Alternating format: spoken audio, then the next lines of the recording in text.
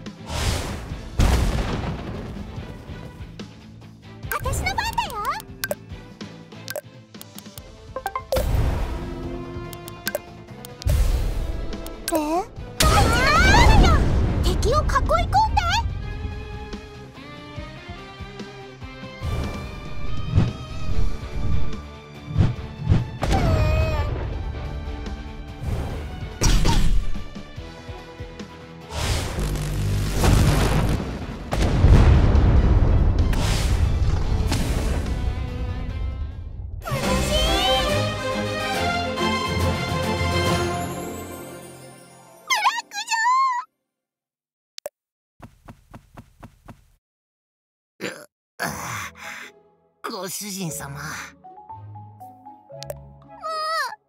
大変な時にあんたまで心配かけない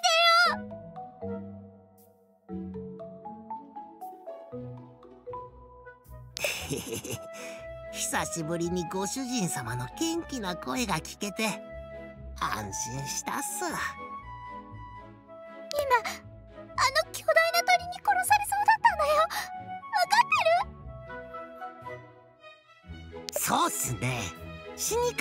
かけたっすよね。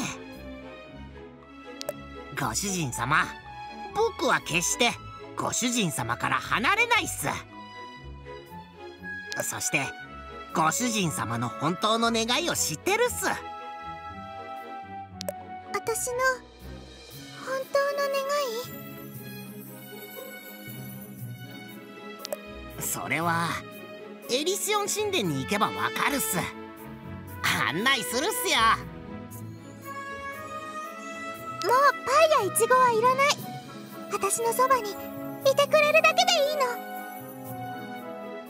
の。パイやイチゴよりずっといいものがあるっすよ。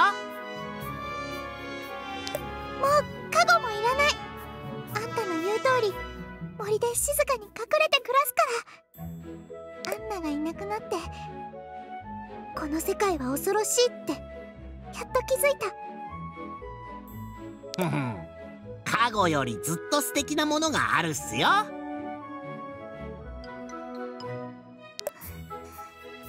100倍良くてももういらない。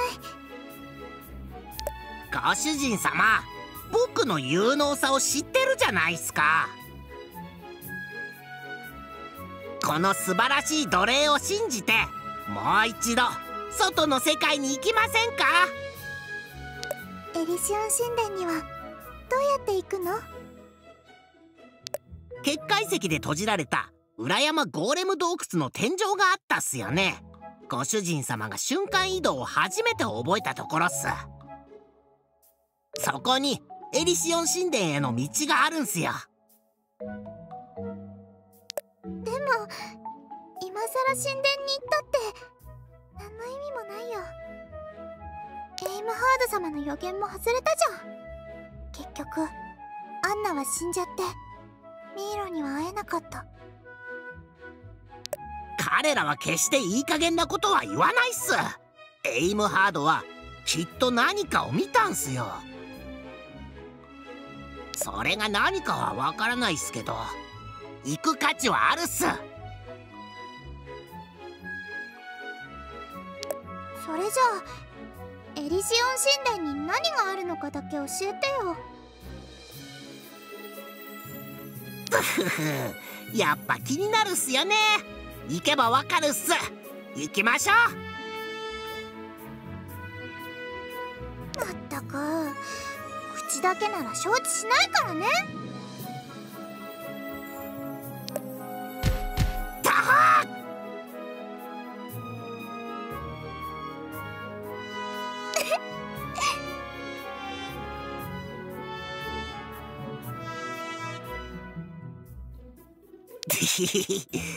ご主人様今笑ったっすね。元気が出てきた証拠っす。それじゃエリシオン神殿へ出発しましょうよ。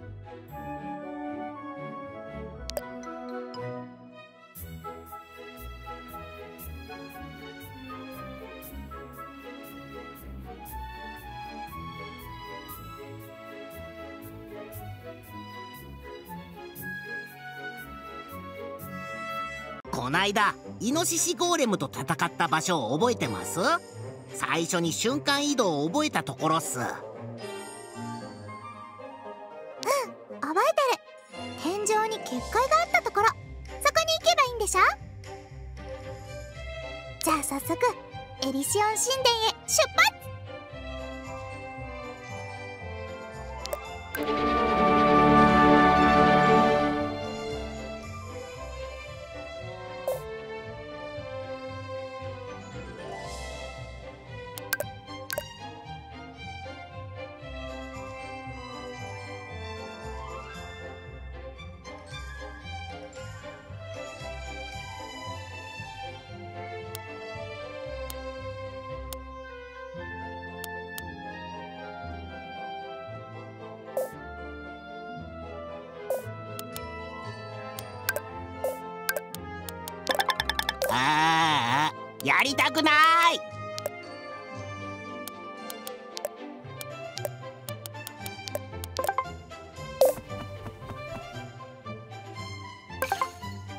主人様。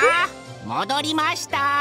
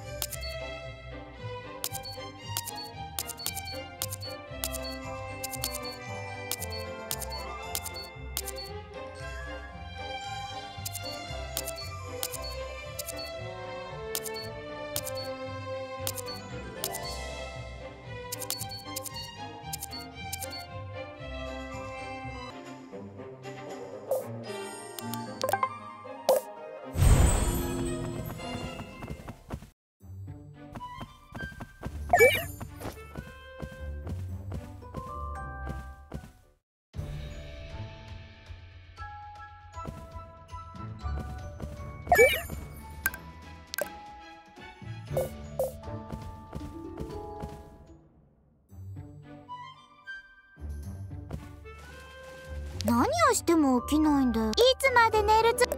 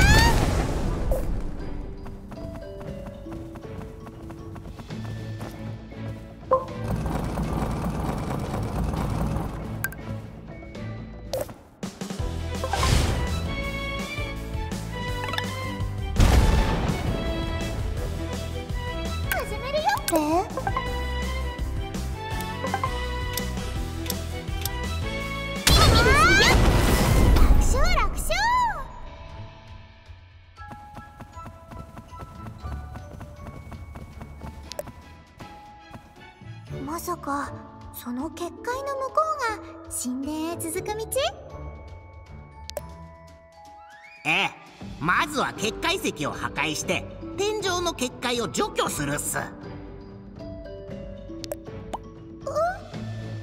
の結界石に触れたら危ないってあんたが言ってたじゃん。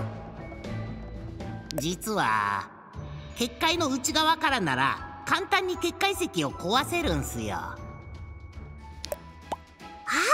騙したのね。ご主人様が森から出ないように嘘も方便っすよ。じゃあ早速結界石を壊してくだせ。よ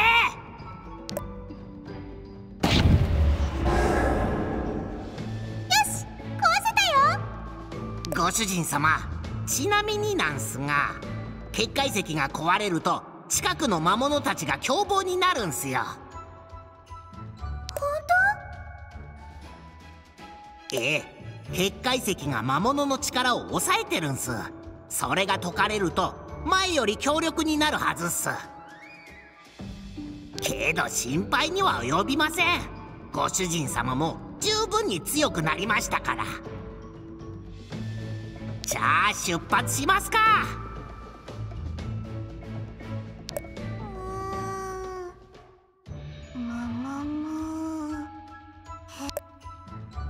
ほらほら集中して。飛ぶっすよ解后。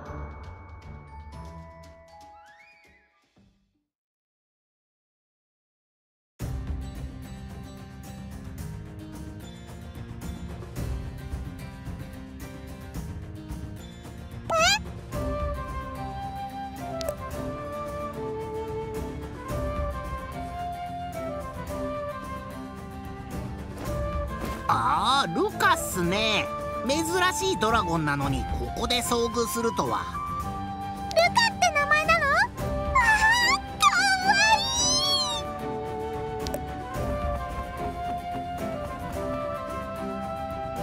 い。この辺りは人間も来ないっすから珍しい魔物も多いんすよ。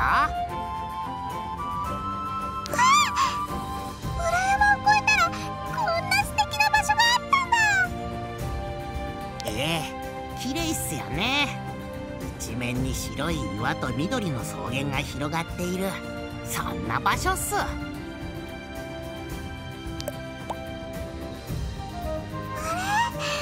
たとそっくりな鳥がいる。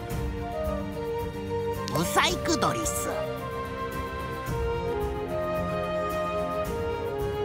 ブラックジョー。今自分で認めた？いえブサイクドリという種類の鳥なんすよ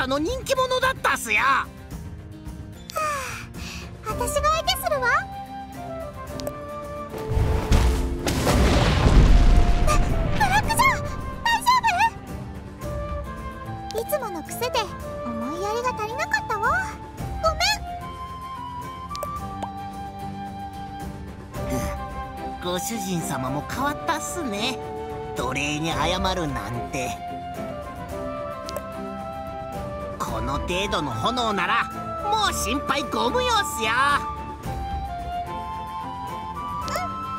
次からは気をつけるね。では神殿への入り口を探すっすよ。崖の方を調べましょう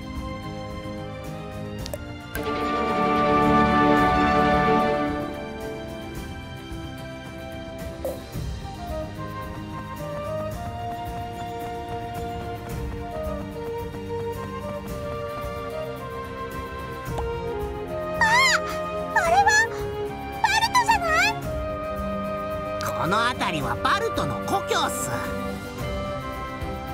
いやそれよりバルトって最高勇士のクラウンと戦って死んだんじゃ。精霊の存在は特別で源の魔力を打ち破らない限り蘇るんすよ。魔力の量はやや減ってますけどご覧の通りピンピンしてるっすね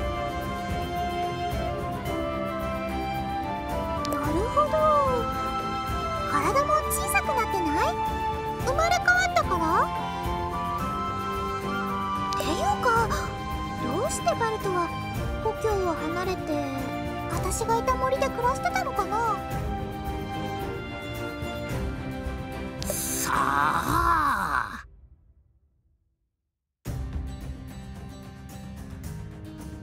それはそうと。バルトの近くを横切っても大丈夫かな？最高勇士と戦ってる時はすごく凶暴だったじゃん？森では毎日勇士たちを投げ飛ばしてたし本来バルトはおとなしい精霊なんすよ。そんなバルトがなぜララク村で暴走したのか。理由はわかんない。バルトあんたって本当に変なゴーレム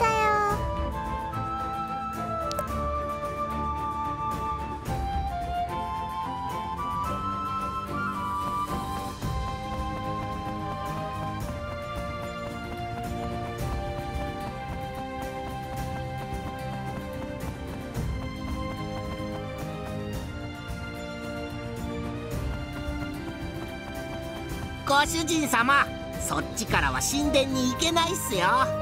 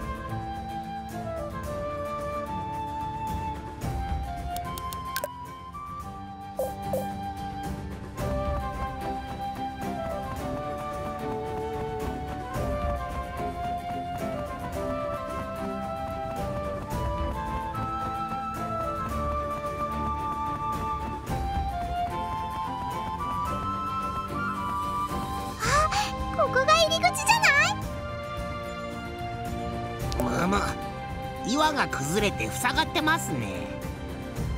ここが近道なんすけど。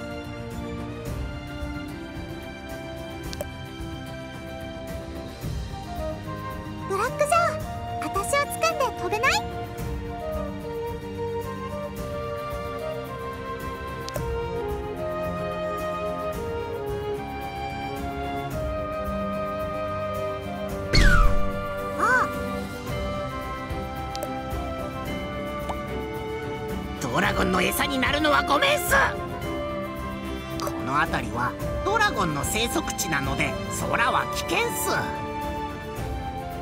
ーんじゃあどうすれば？ちょっと危険ですが国石窟を通るしかないっすね。もっと西へ行けば一つ洞窟があるんす。ひとまずそっちへ行きましょう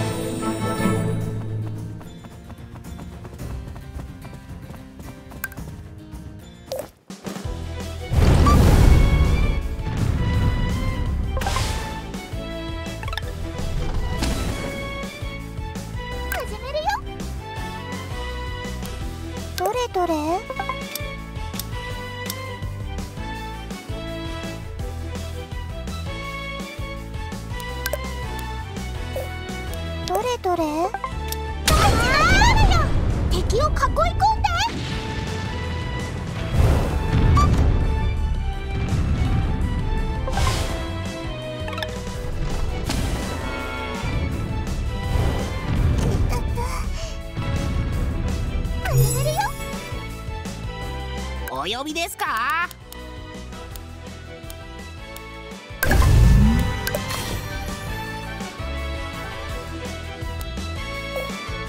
どれどれ？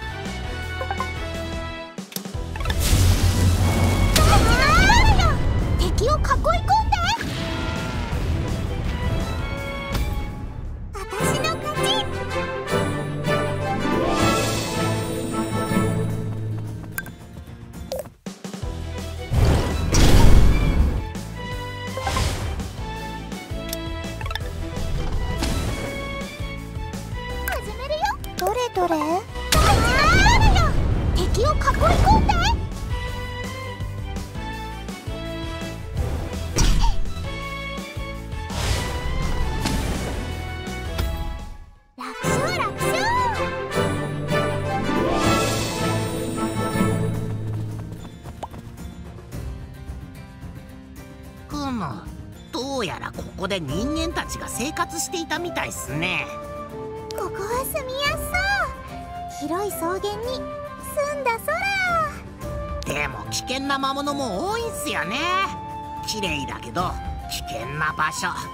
人間が住むには難しいっす。ただ10年前にはこんな形跡はなかったんすけどね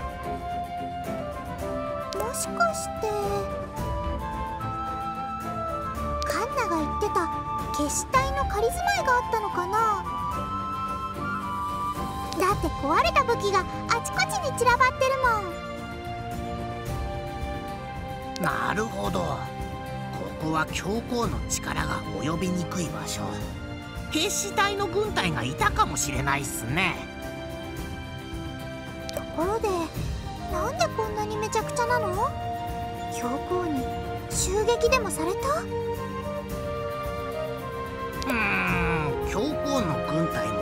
てくるのは難しいはず。謎っすね。まさか付近の際と戦ったのか？いやーそれもありえない。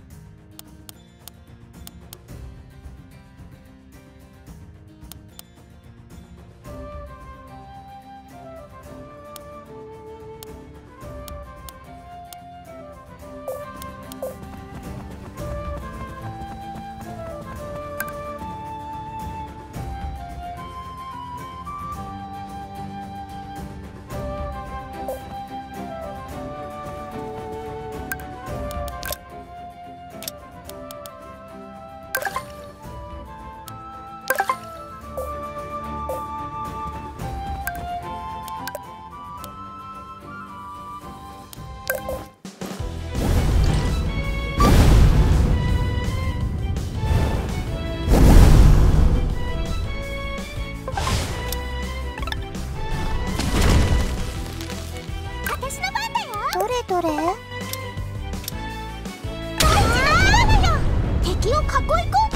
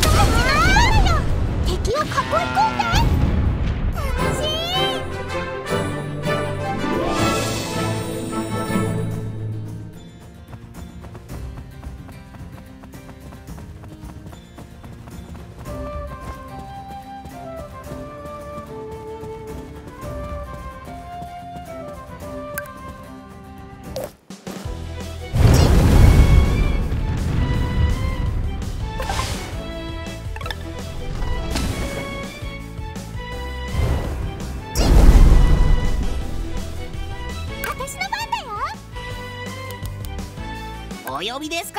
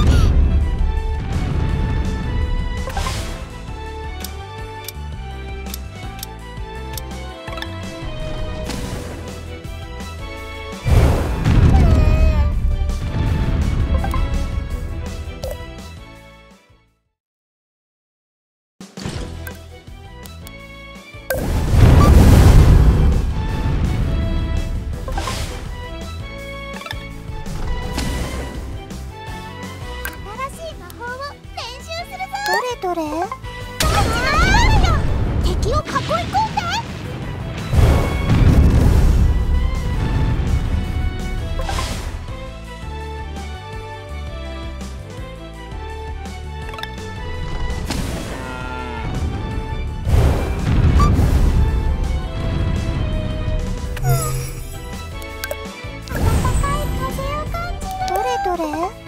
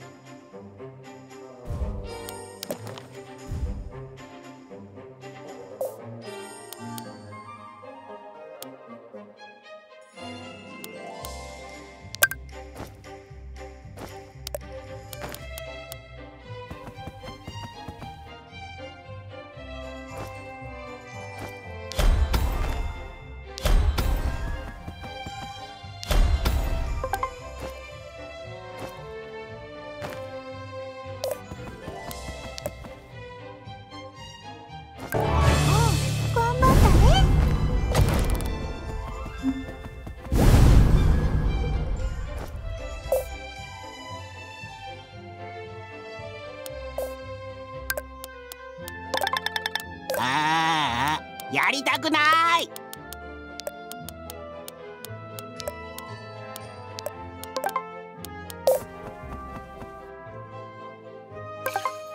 ご主人様戻りました。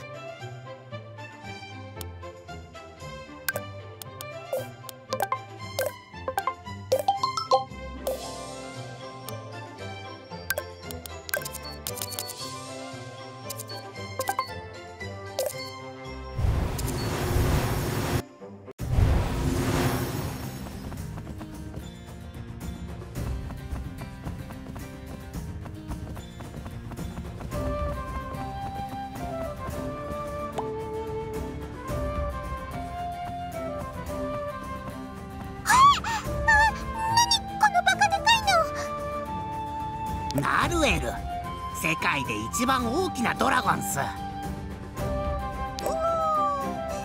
地面から頭だけ生えるドラゴン？体が埋まってるっすね。あいつエリシオンに勝負を挑んで一発で体が地面にめり込んだんすよ。しかも巨大なツルが体に巻きついて自力じゃ絶対に抜け出せないっす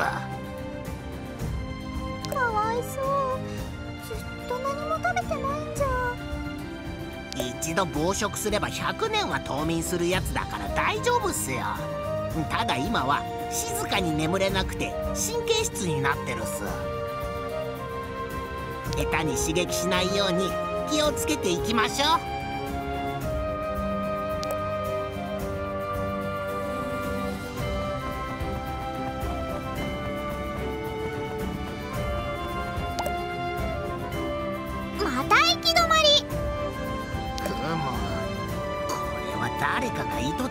いでいるとしか。ちっくしょう。この道以外にもう方法が。ブラックゾーン。いいこと思いついた。ナルエルにお願いしよいやいやナルエルが効くと思います？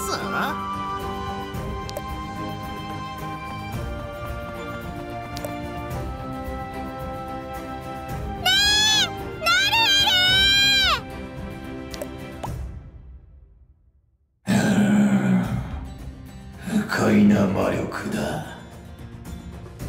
う魔物が喋った。年を重ねた魔物は人間の言葉が使えるんすよ。一体何の用だ？あの石をどかしてくれない？助ける義理などない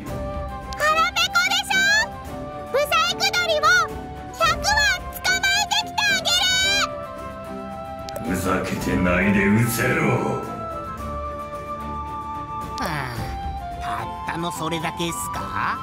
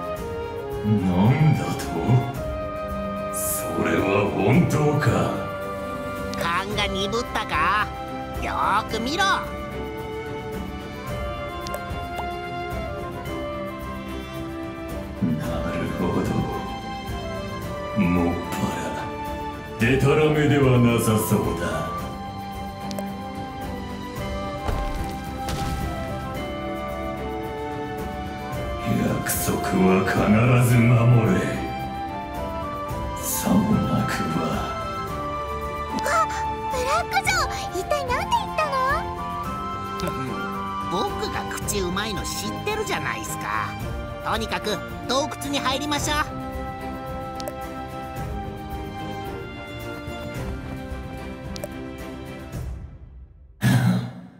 さっさと行くがよい。ただし長くは待てん。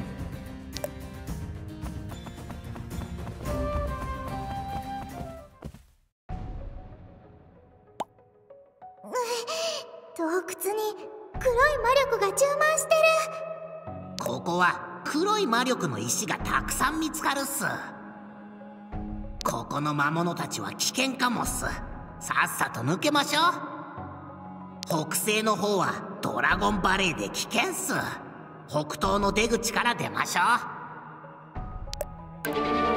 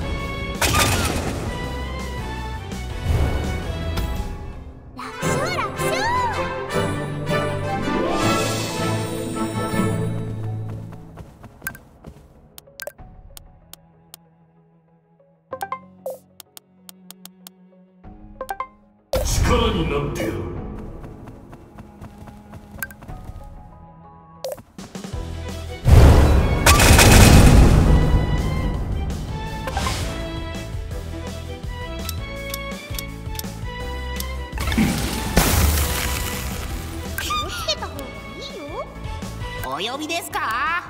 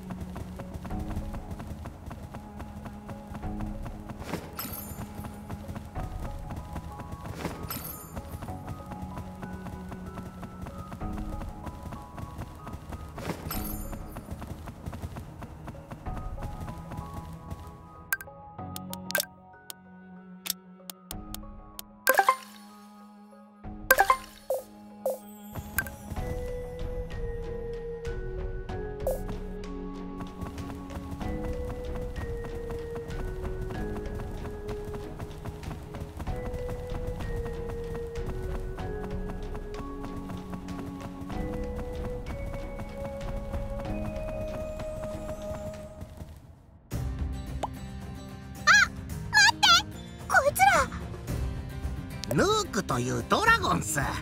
ドラゴンと鳥の間の生物でどっちかっていうとドラゴン寄りっすね。いやそうじゃなくてあんたこの鳥に食べられてたじゃ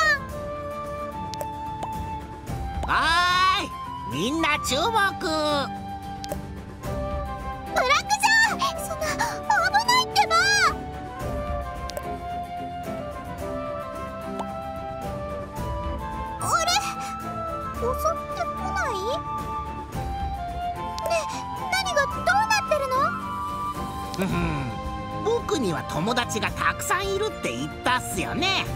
特にここは僕の縄張りっすよ。ではではこのヌークに乗ってエリシオン神殿へひとっ飛びするっす。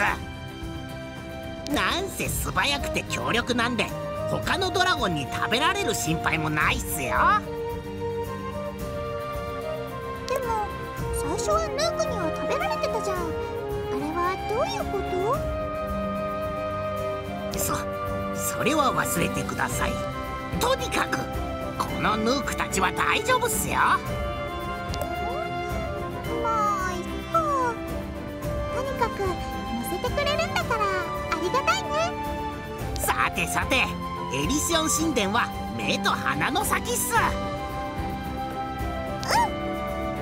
んたがそこまで言うなら大丈夫ね。あでもこの丘の先には邪悪な魔物が住んでるらしいっす。邪魔されるかもしれないんで確認した方がいいっすね。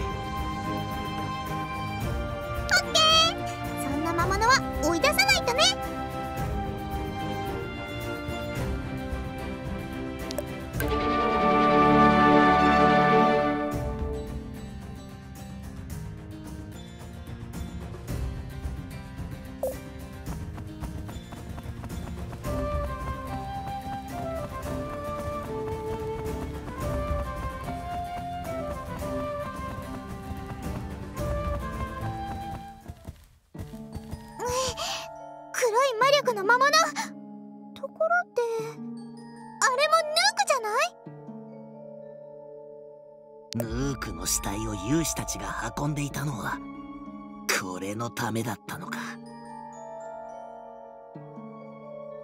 じゃあ教皇があれを作ったってこと？多分そうっす。ヌークの死体と黒い魔力の石で新しい兵器を作ったんすね。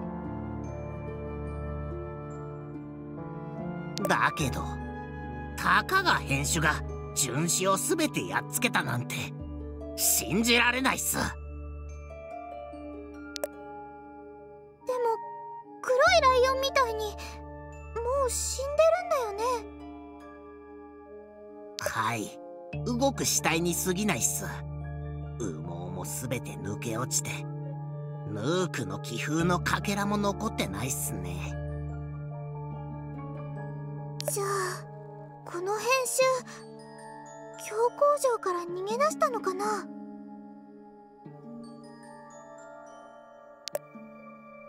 そうっすね。鎧まで装着させて完全に手なずけてるっす。そうなんだ。でもここまで来てなんで邪魔するの？性能を確かめたいんでしょ？多分決死隊の陣地を攻撃したのもこいつっすよ。あちこちでトラブルを起こしてるのね。じゃあ早速あいつを倒して。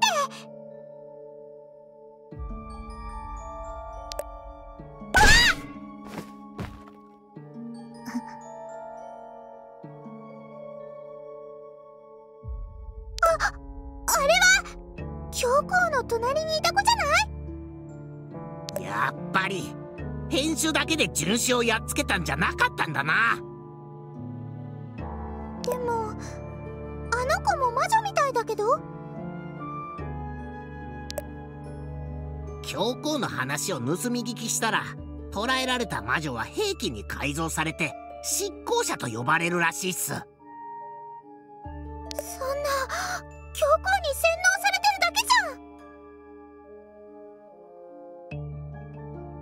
戦闘は避けられないっす。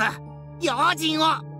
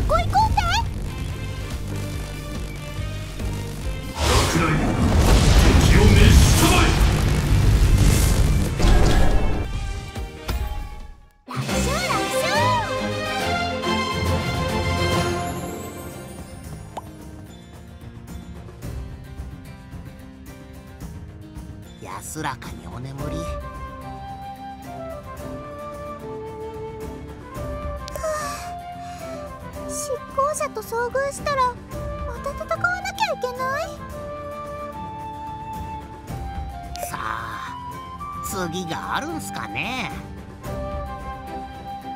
どういう意味？教皇曰く実験体の命は長く持たないらしいんすよ。無理に力を引き上げすぎたせいすかね？命と引き換えに。かわいそ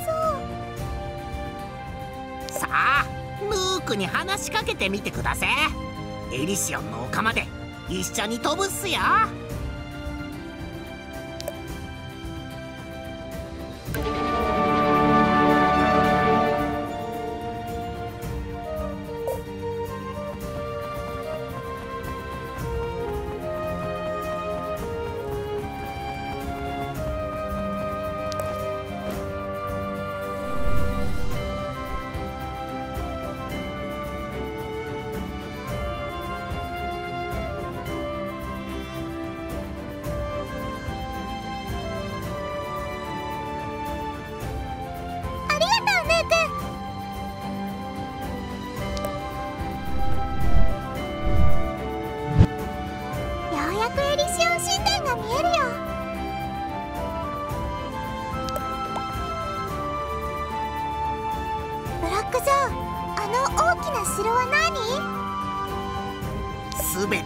悪の根源。教皇城っす泉の戦争が終わってすぐに建てられたっすよ。また教皇教皇のことは少しの間忘れるっす。ご主人様それよりあっちを見るっす。あの神殿に私の望む何かがあるってことだよ想通りにことが進んでくれ。ああの木は。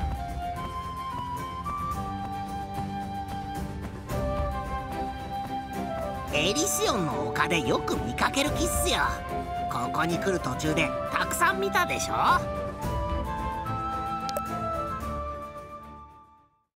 そうだっけ。なんかこの木を見てたら急にのんびりした気分になってきたよ。神殿までもうすぐっすけど行かないんすか？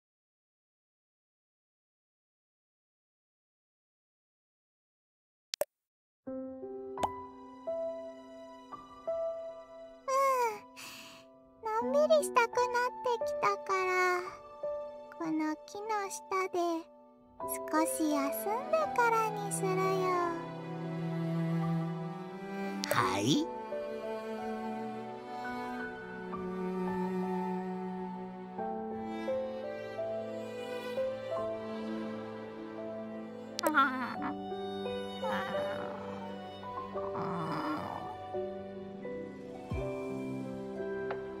もう寝ちゃったよ。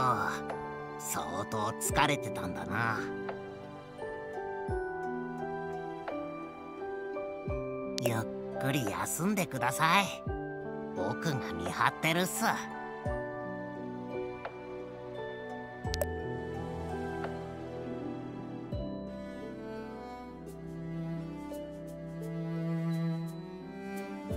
丘に来たら少し休んでいっていいのよ。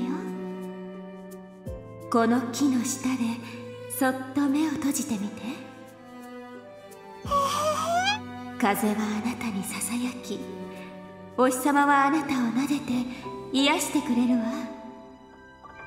この丘に来るまでの間本当に苦労をしたでしょう。そして今までよく頑張ってくれたわ。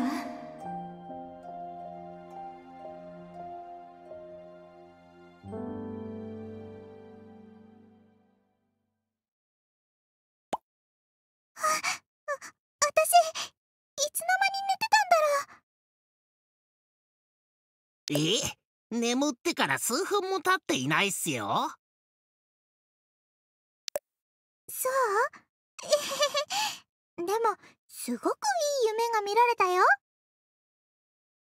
少し休めたから早く神殿に行こう。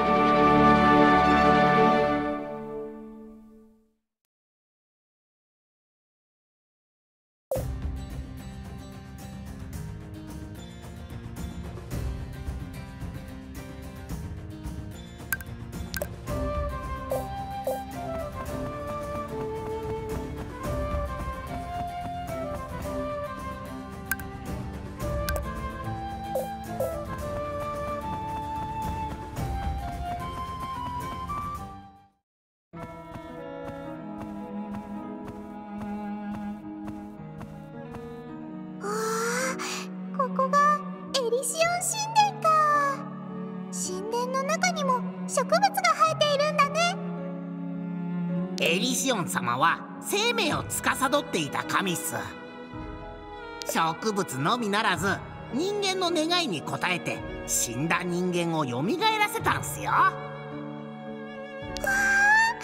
魔力で人間を助けてたんだね。すごい。待ってでも死んだものを生き返らせるってブラック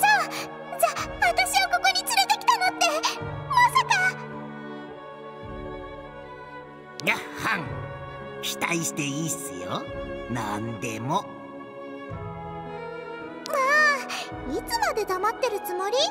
もう泉は目の前なんだよ。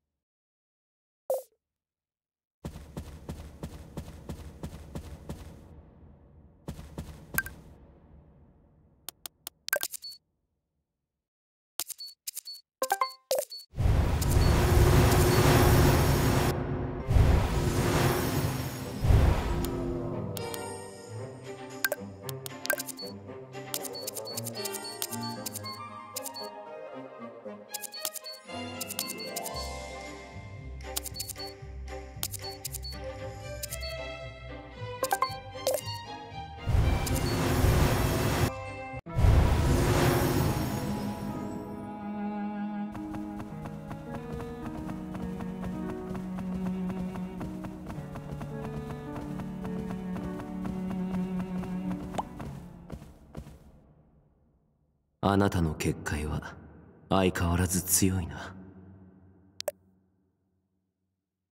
ああいつは。ああまた会ったか。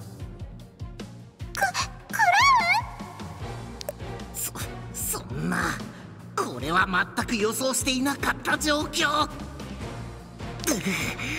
もう少し早く泉についていれば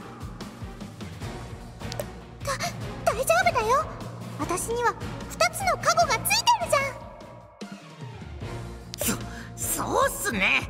きっと賞賛があるはずっす。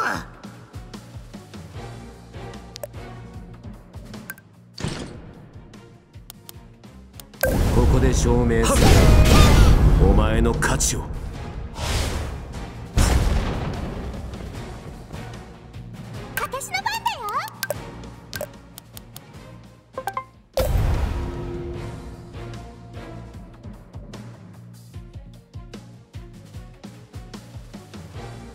びですか？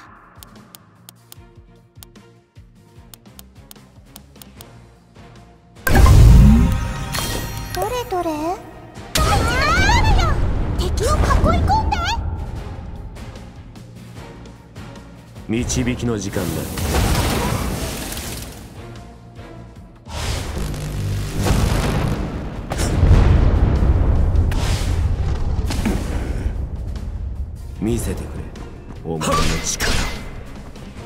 永遠の安らぎを与えてやろう。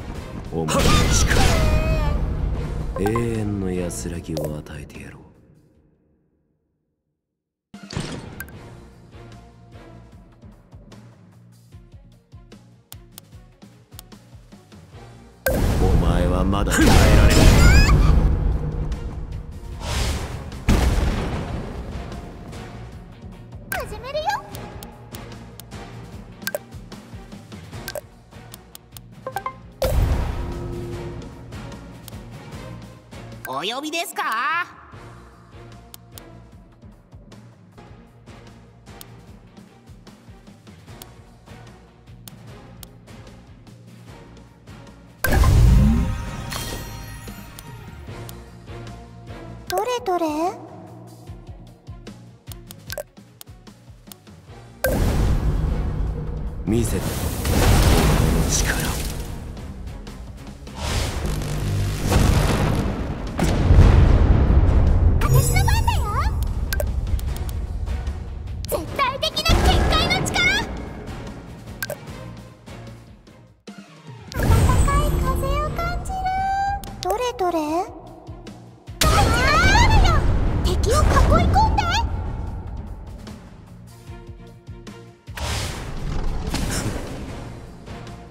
ここで証明するのだ。お前の価値を。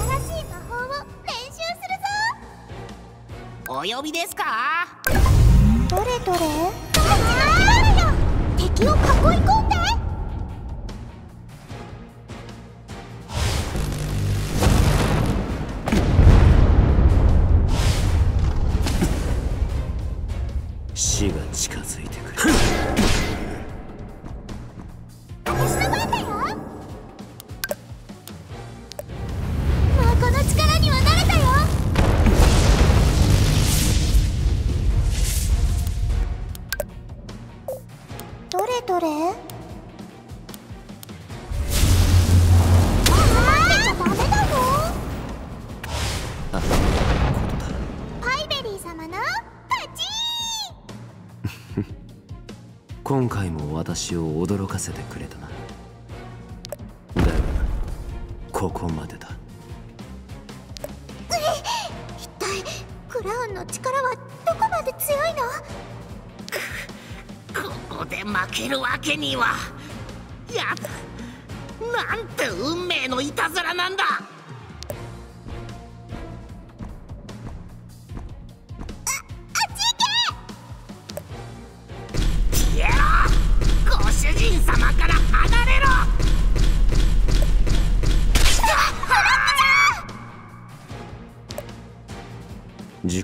前に見つけられてよかった。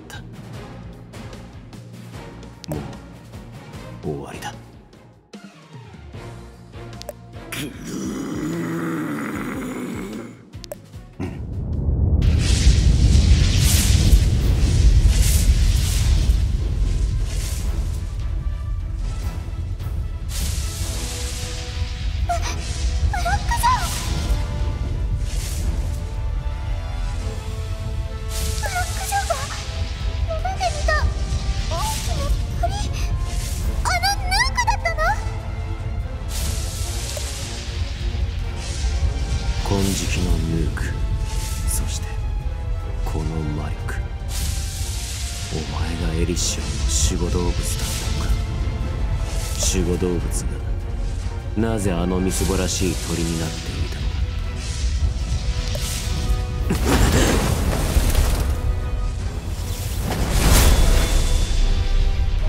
かこれがエリシオンの魔力か。レアメタルで作った剣が壊れるとは。だが泉が封印されている限り守護動物が泉の力を使うことはできないはず。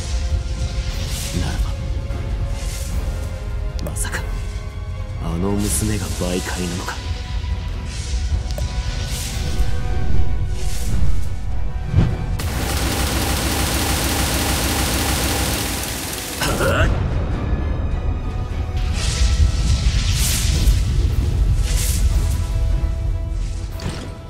あれはレアメタルの鎧でも耐えられそうにない。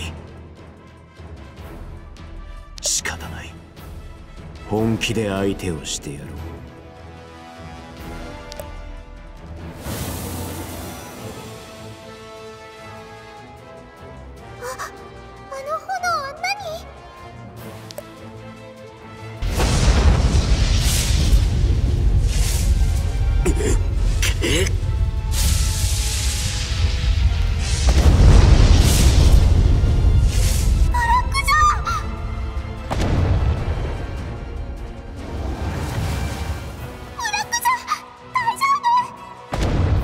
心配はいらん。泉の魔力を使いすぎて気を失っただけだ。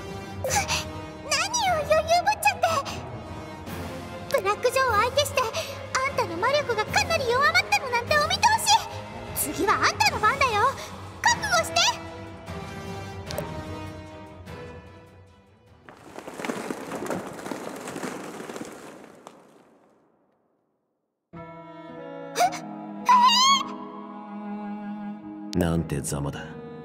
危うくやられるところだった。あんたも魔女だった？いや魔族って言うべきかな。とにかくなんで私を攻撃するの？お前は執行者じゃなかったようだな。エリシオンの守護動物がお前に従っているのを見る限り。まずは謝ろう。私は幼い親族に随分と失礼をしてしまったようだ。どういうこと？親族って？見ての通り我々は同じ親族ということだ。親族なんて言葉初めて聞いたよ。魔女というのは人間が勝手に定義した存在に過ぎない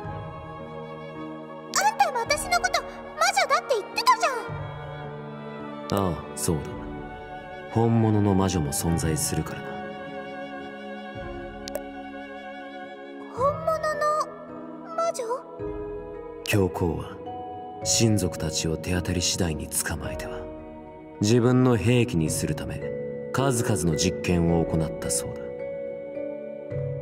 特に子供の親族が集中的に捕まったのだ。同じ親族でも成人より子供の方がより精神を支配しやすいからだ。その兵器というのが執行者なんでしょ？ああ私は今まで執行者を始末してきた。なぜなら執行者は他の親族を捕獲し教皇のところに連れて行くからだ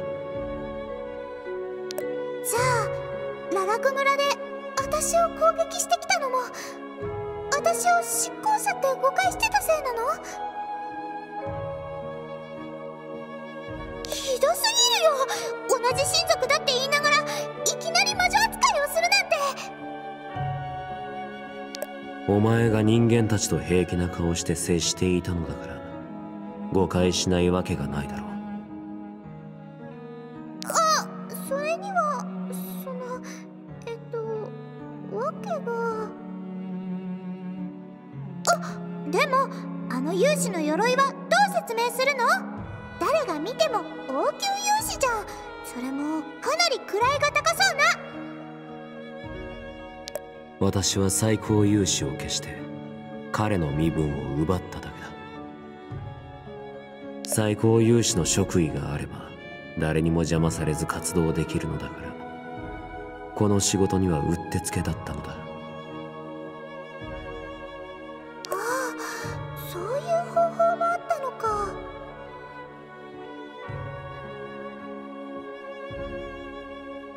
私の目的は泉の復活。そして再び親族の時代を築くこと。だから私はこれまで私のやり方で密かに泉を守っていた。そしたらお前から泉の加護を感じたのだ。そうだよ。神たちが私を認めたんだもん。その年にして神殿長に認められるとは本当に大したものだな。羨ましいくらいだ。こうなった以上もう私が泉を守る理由もないだろう。エリシオンの泉はお前に任せよう。それから決して教皇に加護を奪われてはならない。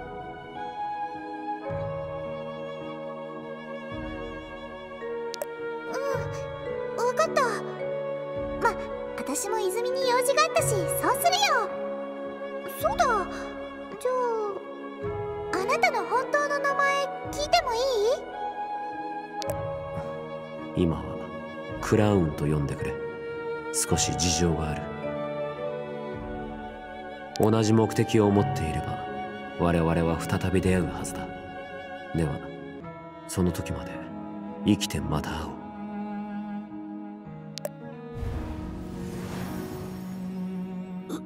ブラックジョー目が覚めた？ご主人様最高勇士はどうなったんすか？心配しなくて大丈夫。私と同じ親族だったんだ。し親族。はい。それからブラックジョーあんたエリシオンの守護動物なんでしょ？はあ結局バレてしまったな。まあ順序が少し変わっただけか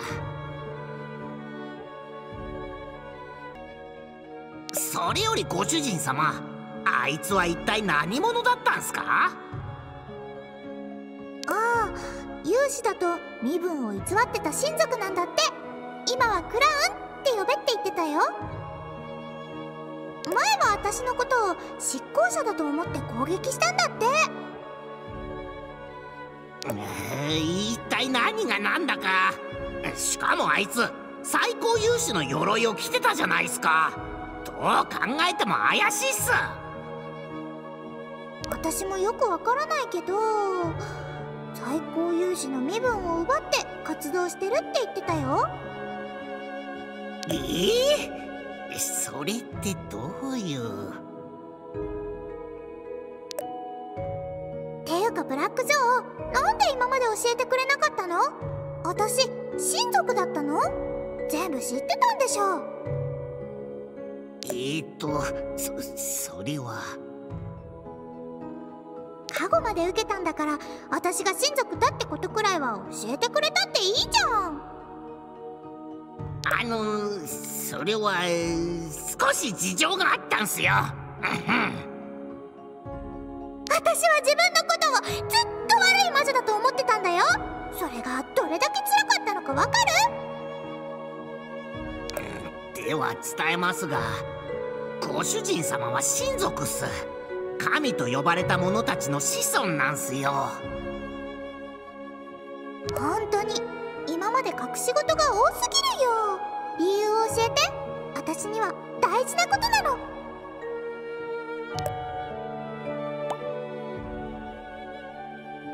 あの時は現実を変えることなんかできないって思ったっす現状にとどまっていたかったんすよ。でも今は違うっす。ご主人様が作り出していく変化を見ながら自分が間違っていたことに気づいたっす。それにご主人様は親族の中でもかなり特別な存在。今こそそれを知る時っす。やっぱり。神たちが私に加護を授けるなんて。それに特にブラックジョーいつも私の知らないことを知ってるからすごく怪しかったよ。もう隠してることないよね。全部言って。ご主人様僕の話を聞くよりもその目で真実をご覧になる方がいいと思うっす。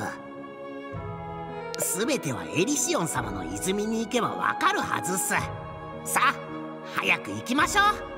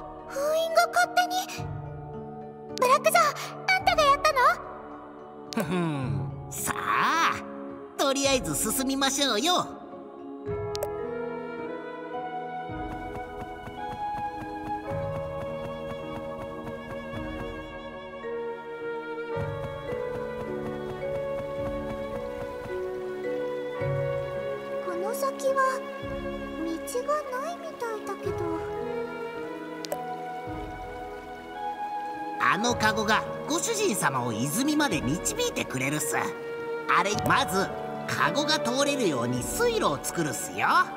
カゴの前にある柱をどかすっす。こんなところに祭壇があるよ。はい。エリシオン様が人間を助けるとそのお礼として人間たちが食べ物を祭壇に備えたんすそれで僕がそれを下のカゴに入れてエリシオン様がいらっしゃる泉まで流したんすなるほど。は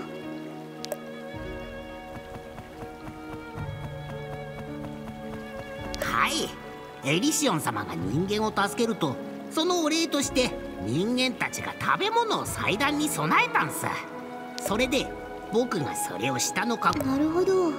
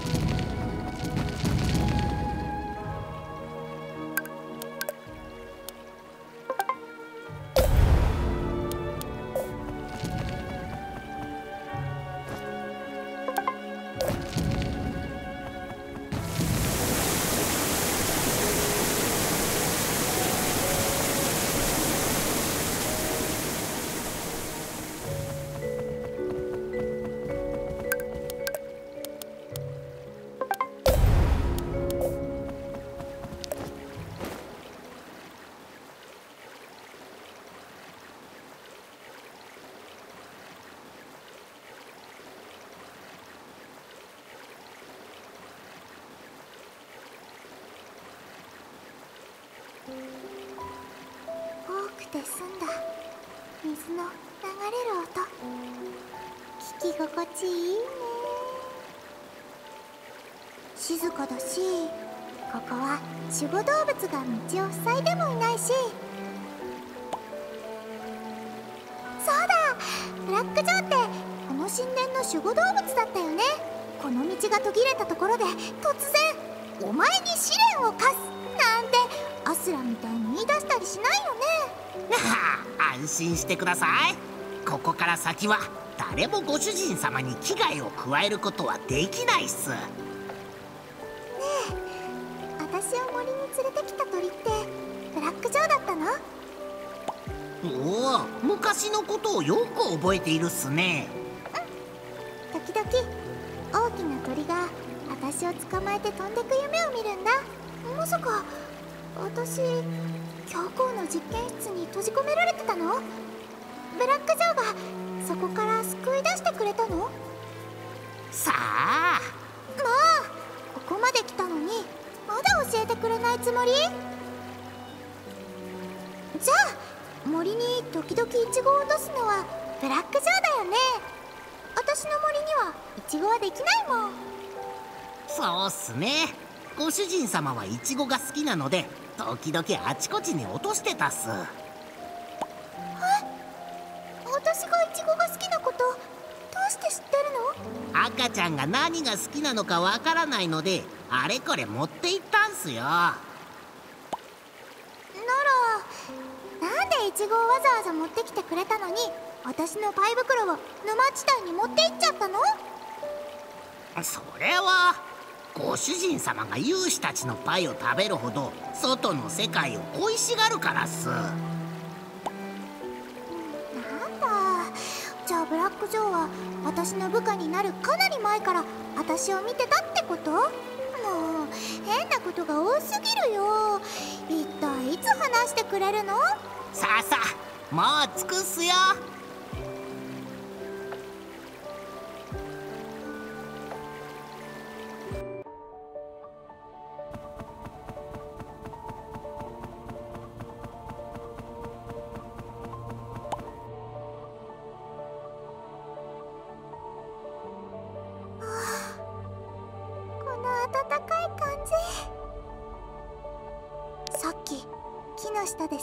を閉じた時に感じたのと同じだ。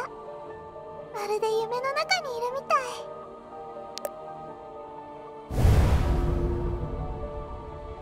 い。よく来てくれました。ずっと待っていたわ。こんにちは。私が神殿の前でお昼寝してた時にささやいてたのってエリシオン様でしょ。夢で聞いた時よりも声が綺麗夢の外でも聞いたはずよ。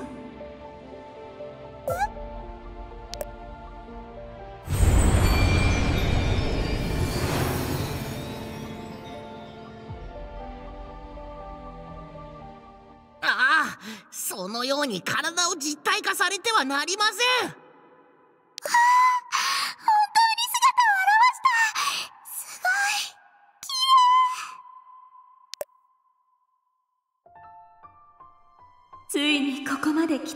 のねルシア。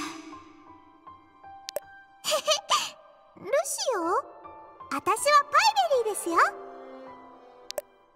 パイベリー？それは誰につけてもらった名前なの？パイとイチゴが好きだからこの名前なんで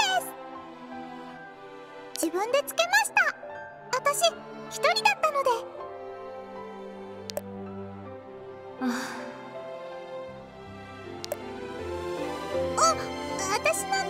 センス微妙でした？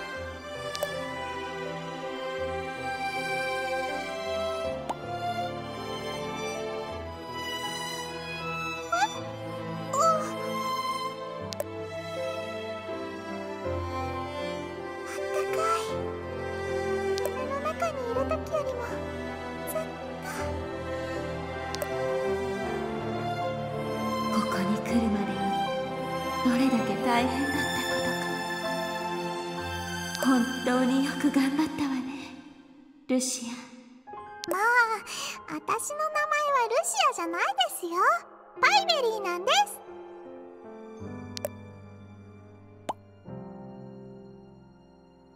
あとあの泣いてるんですか？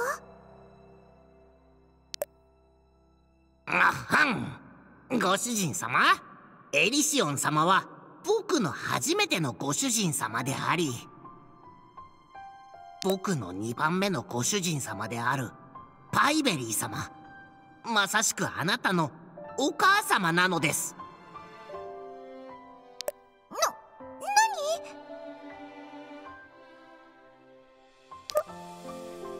どどういうこと私は両親に捨てられたって言ってたじゃん。僕の本当の名前はアーク知っての通りエリシオン様の守護動物なんす。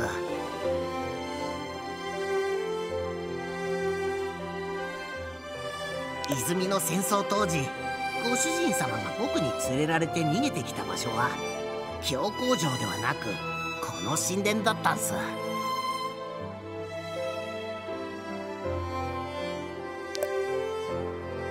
れまでご主人様の出生について隠していたわけは。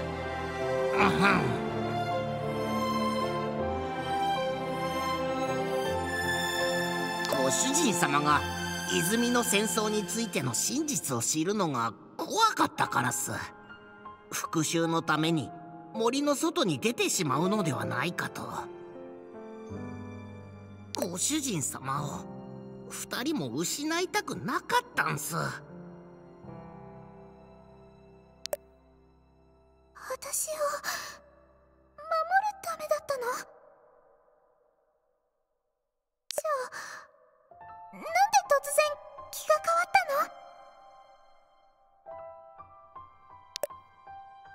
たの？ご主人様は強くなりました。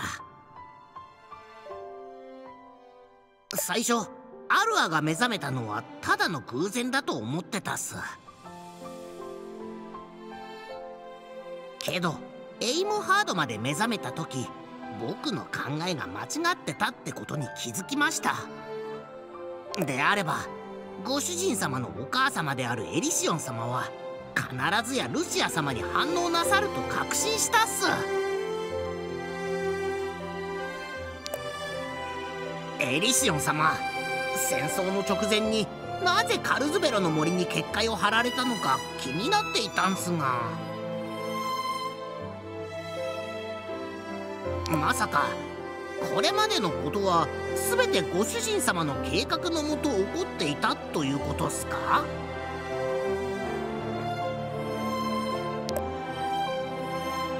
そうよ。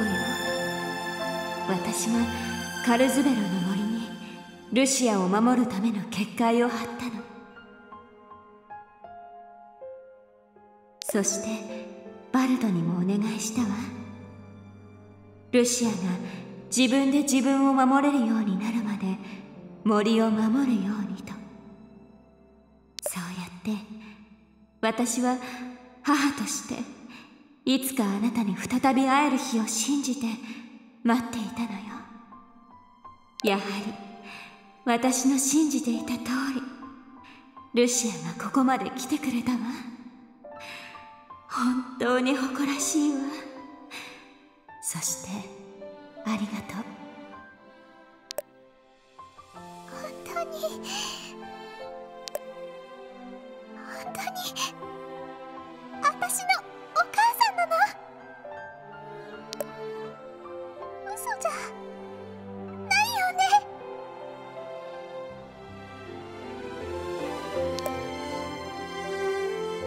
ルシア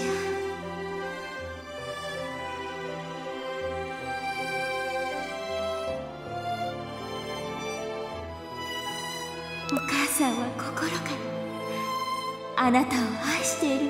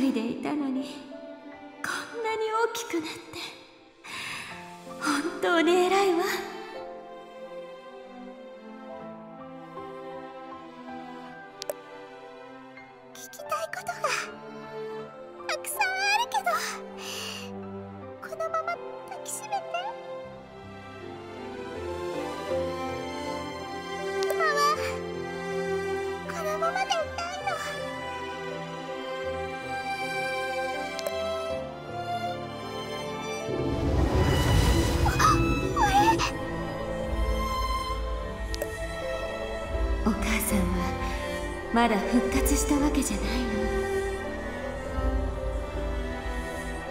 私の魔力は今でもこの大陸のあちこちに散らばっているわじゃじゃあどうしたらいいの？このままお母さんを見送るなんてできないよ。まだルシアの進むべき道が残っているわもう少しの辛抱よ。あとどれだけ我慢すればいいの？待つのは嫌だよ。そう長くはないわ。これまでルシアが耐えてきた時間よりはるかに短いはずよ。お母さんが約束するわ。これからはお母さんの加護がルシアを導いていくから。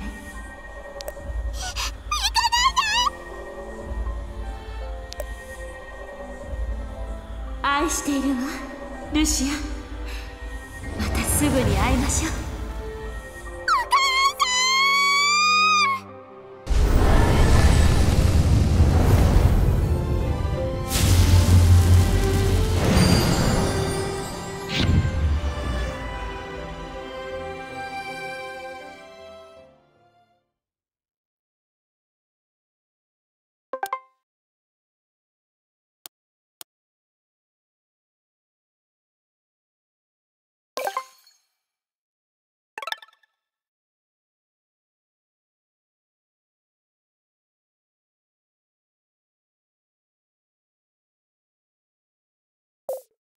ご主人様。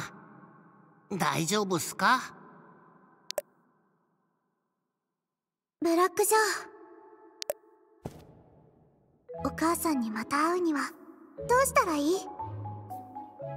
あご主人様？姿が。あれ？服が変わってる。背も大きくなった気がするよエリシオン様の魔力が体にも影響を与えるとは。私の体変わっちゃったの？はい。確かに成長されたみたいっす。お母様の魔力を授かったからっすかね。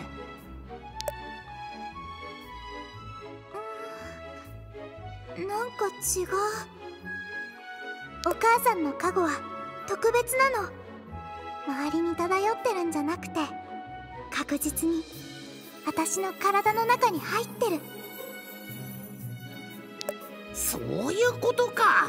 加護を完全に受けられるようにエリシオン様がルシア様の体を変化させたんすね。そうみたい。説明しづらいけど私の力も何か変わった気がするじゃあもしかして復活の力も？ああ違うっすね。それは神殿長にのみ可能な領域っすから。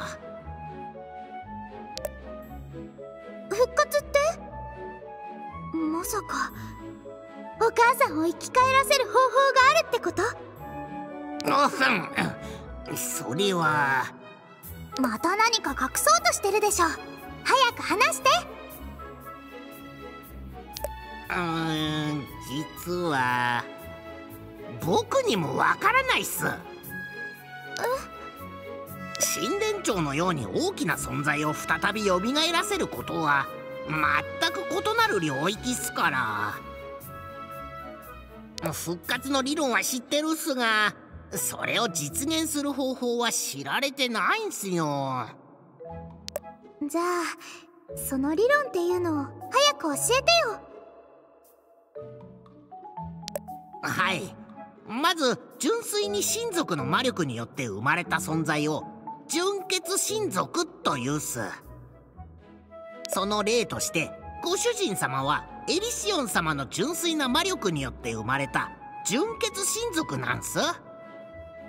一方で人間やドラゴンなど他の種族の血が混ざった親族を根血親族というす。純血親族は特別なことに肉体が消えてもその魔力は消えないんす。体は消えても魔力はそのままバルトみたいに？そうっす。これは精霊と純血親族の似ている点っす。器が壊れても中の水は消えず散らばるだけのようなものっす。その水を集めて新しい器に入れればいいんす。つまり純血親族の復活とは散らばった魔力を再び集めることを意味するんす。これが純血親族の復活理論っすが言葉通り理論ってだけっす。実際にそんなことが起きるには永遠に近い時間を待つしかないとしか。永遠に近い時間か。どうにかしてその時間を縮めることはできないかな。どうでしょうかね。うーん。アルア様とエイムハード様が私に加護を与えてくれたのはご主人様に教皇と対決できる力を授けるためでしょう。私はこう思うの。散らばった神殿長の魔力を一つに集めるためなんじゃないかなって。うも私確かに感じるんだ。だんだん加護が強くなってきてるの。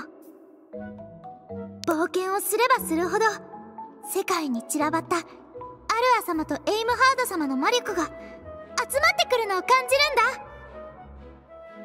だ。さらに確かなのは私の中にエイムハード様の加護が入ってきた瞬間アルア様の加護もかなり強くなったってこと。ということは加護が集まるほど神殿長の散らばった魔力も早く集まるんじゃない？おおそれなら。この世界に散らばった神殿長の魔力がご主人様を中心にして集まっているってことっすね。やっぱりそうだよね。この大陸にある加護を全部集めたらお母さんの魔力もさらに早く集まるはずだよ。ブラックジョー決めた。今すぐ残りの加護を集めに行こ結局ご主人様は教皇と戦う運命だったんすね。うお母さんにまた会うためならいくらでも戦うよ。他の神殿はどこにあるの？あと2つあるっす。一つはバベリアの丘にあるデュラックの神殿っす。もう一つはアラムートの神殿っす。ただ今はそこに教皇城があるんすよーし。じゃあまずはデュラック様の泉に行こへへ 心配してたけど元気を取り戻してくれてよかったっす。でもより大きな心配事ができたっすけどね。う何もしなければ何も起きないってことが分かったよ。ただ悲しみに暮れてるだけだったらお母さんには会えなかったと思う。でもご主人様教皇の勢力は神々さえも追い出すほど凄まじいっす。それに僕たちは奴らの持つ力の正体も分かってません。たった2人で奴らに勝てると思いますか？心配いらないよ今までブラックジョーができっこないって言ってたこと私たち全部成し遂げてきたじゃん。そそれはそうっすけど。だからこれからも私たち2人なら何でもできるよ。ブラック・ジョーは今まで通り私をサポートしてくれればいいの。私を信じて。くー僕の頑張りが認められる日が来るなんて。もちろんっす。エリシオン様に再び会えるよ。僕が全力でお支えするっすよ。うん。ブラック・ジョン。これからもよろしくね。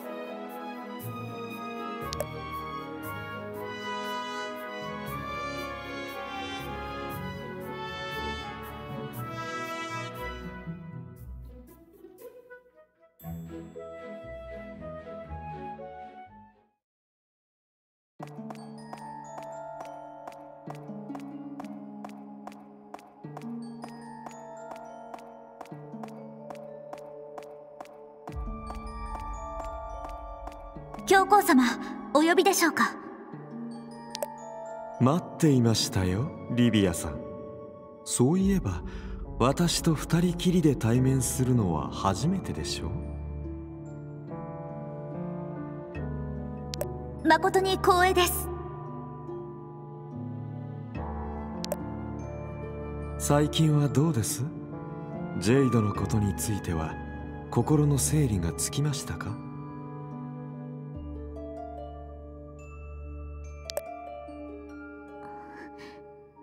任務には支障ありません。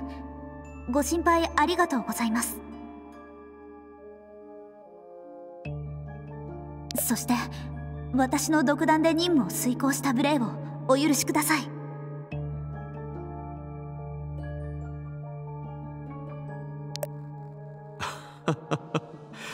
無礼だなんて。私はリビアさんのように自発的で積極的な人が好きなのですよ。他の勇士たちもあなたを見習ってほしいものです。み身に余るお言葉です。それにケイトを捕らえたことは本当に素晴らしいです私が授けた力で闇の力を扱うとは。断じて許せない所業ですね。当然すべきことをしたまでです。リビアさんはこれほど能力が秀でているのにどうして小隊長の地位にとどまっているのですか？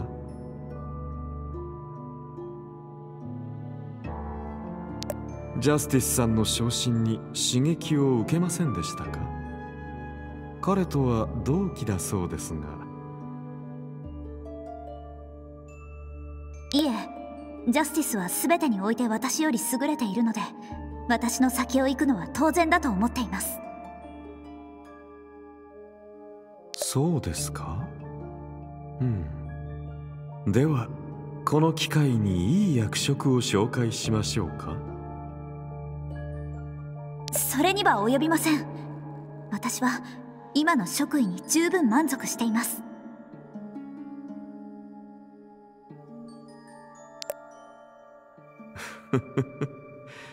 小隊長の地位にとどまるですか。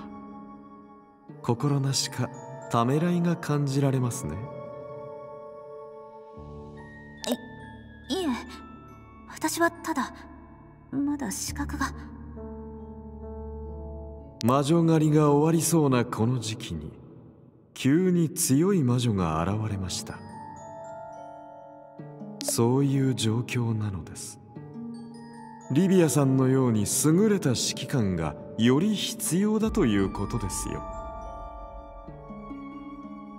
教皇様ありがたいお言葉ですが。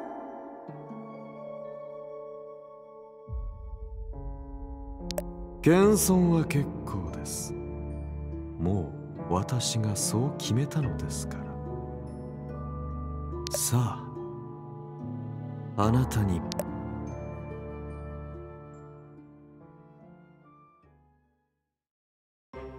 うーんデュラック様の神殿に行くには雪原を通るしかないってことだよね。まあ通れさえすればバベリア町を通るのが一番楽っすね。じゃあこの前みたいに人間に変装して街をさささって通ればいいんじゃない？デュラック神殿は教皇城に最も近い場所っす。しかもご主人様はすでにかなり教皇に目をつけられてるっすよ。教皇はデュラックの泉を奪われたくないに決まってるっす。だからこそ最終兵器と再生鋭部隊が神殿の周りに配置されているのは明らかっす。人間に変装すれば何事もなく通れると思うけどな。普通の人間の少女が勇士たちの警戒地域を平気な顔して通る方が変っすよ。面倒でしょうが迂回して雪原を通ってデュラック神殿に行くのが安全っす雪原か。寒いよね。寒いどころじゃなくてありとあらゆるものを凍てつかせるほどの極寒の地ですよ。その寒気さえ解決できればうまくことが運ぶんすけどどうしたら。何かいいアイデアでもあるっすか？一体なんすか？イチゴを探してる時雪原に向かってた子に会ったでしょ？あの子がきっと何か知ってるはずだよ。うーんまあはい。その少女から手がかりを得られるかもしれないっすね。なんでそんな気乗りしない感じの言い方なの？単に会ったからといって解決するとは思えないからっす。せ本当？その子一体何者なの？氷結魔力の扱いに長けている血統といったところっすね。今は他に手もないしその少女に一度会いに行くとしましょう。とりあえず雪原に行ってみようか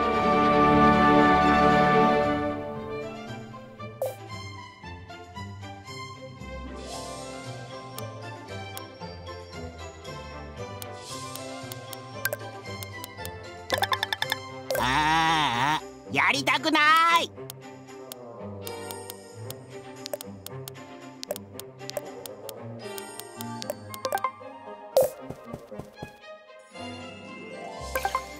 ご主人様戻りました。